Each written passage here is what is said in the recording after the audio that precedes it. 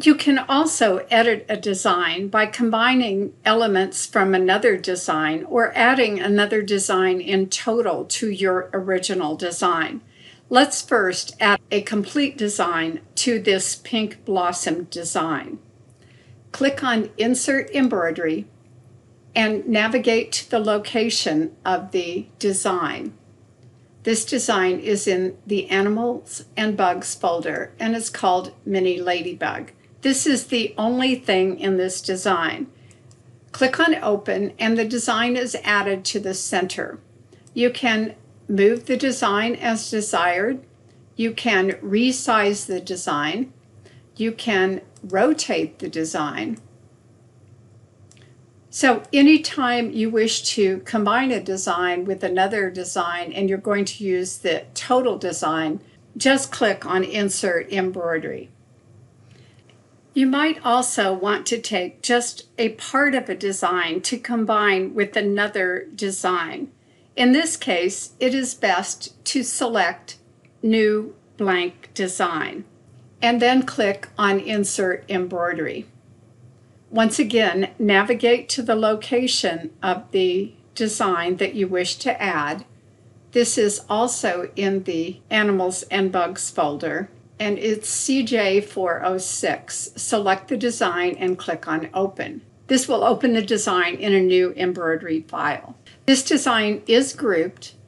You can tell by the four black boxes that surround the design.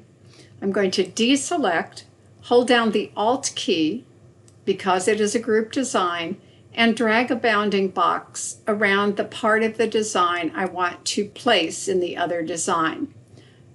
Select Copy, return to your working file, and select Paste.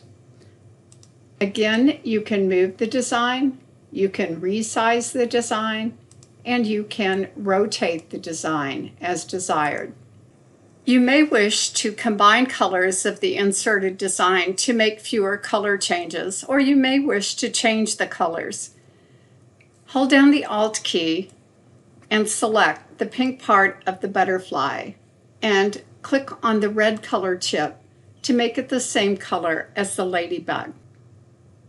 To create a more efficient design, the design should be resequenced. Remember, it is important that the correct stitch order be maintained. The red ladybug can be combined with the red butterfly, but it must stitch after the purple part of the butterfly. Select the ladybug in color film and click on Move to End. Hold down the Alt key to select the red portion of the ladybug and select back one color to combine the reds to stitch at the same time. This will maintain the correct stitch order of the butterfly, but will give you a more efficient stitch out. Remember as well to remove any overlaps that should be removed.